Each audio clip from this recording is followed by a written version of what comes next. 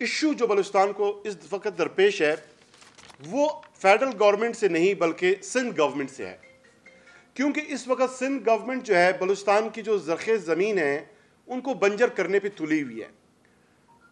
चूँकि Balochistan and tell पे है और इरसा का जो पानी है, वो थ्रू सिंध जो है, बलूचिस्तान को मिलती है। हमारा हिस्सा जो है गुज्त 20 साल में सिंध ने कभी पूरा नहीं दिया। अभी इस वक्त जो शॉर्टेज है पानी की और जो सिंध गवर्नमेंट पंजाब से कंप्लेन कर रहा है, वो सिर्फ़ सत्रह फ़ीसद उनको कमी का सामना है। लेकिन आगे सिंध जो है बलूचिस्तान को 42 परसेंट शॉर्ट फॉल पे हमें पानी फराम कर रही है। हमारा जो इस वक्त इंडेंट है इरसा का, जो हमारा ड्यू राइट शेयर है बलूचिस्तान का, दस हज़ार नौ सौ क्यूसिक है। और थर्टी परसेंट लॉसेस मिला के चौदह हज़ार क्यूसिक इरसा में रिलीज़ कर रहे हैं, लेकिन बलूचिस्तान को सिर्फ़ सात हज़ार क्यूसिक पानी जो है सिंध से मिल रही है। मजमू तौर पर गुजशत दो महीनों में बलूचिस्तान का बयालीस फ़ीसद अक जो है मारा गया। पैरा थ्री में दर्ज है कि किसी भी शॉर्टफॉल से के पी के और बलूचिस्तान एग्जाम्ड हैं और सिंध गवर्नमेंट जो है वो स्टेट ऑफ़ डिनाइल में है। मुझे नवाबजादा तारिक मक्सी साहब जो इरीगेशन मिनिस्टर है उन्होंने बताया कि पिछले साल सक्कर में वजी अला सिंध मुराद अली शाह साहब के साथ उनका जब मुलाकात हुआ और इस बाबत उन्होंने ये कंप्लेन जब रेज किया तो मुराद अली शाह साहब ने यकसर इन, इनकार कर दिया। और उसने कहा कि हम आपको पूरा पानी फराम नहीं करेंगे।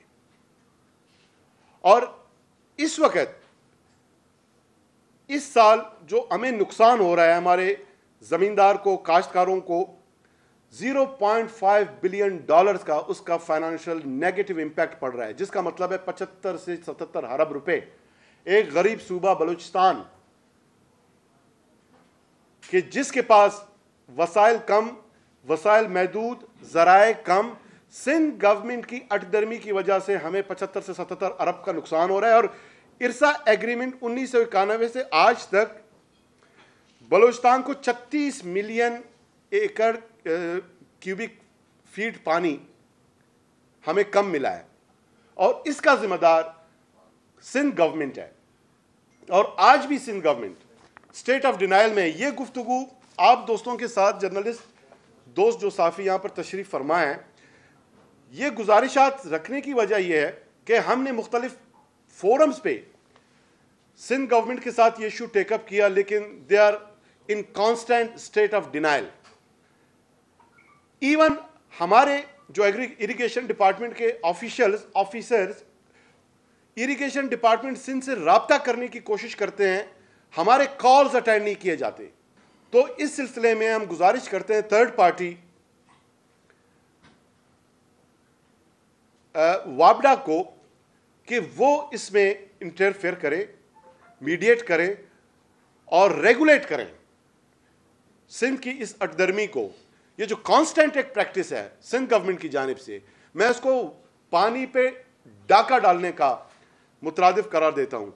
और अगर उनका ये रवैया रहा तो हब डैम से जो पानी कराची को फॉर ड्रिंकिंग पर्पज जो प्रोवाइड की जाती है तो फिर बहालत मजबूरी हम नहीं चाहते कथन नहीं चाहते। लेकिन अगर सिंध गवर्नमेंट का यह अटदर्मी बरकरार रहा तो इसके अलावा हमारे पास कोई हल नहीं रहे रहेगा कि हम जो है अब डैम का पानी रोक दें हम उम्मीद रखते हैं कि सिंध जो है वो इरसा एग्रीमेंट के तहत जो बलूचिस्तान का ड्यू शेयर है जो हमारा राइट है उसको तस्लीम करते हुए आ, हमारा पानी जो है वो हमें फ्राहम करेगा।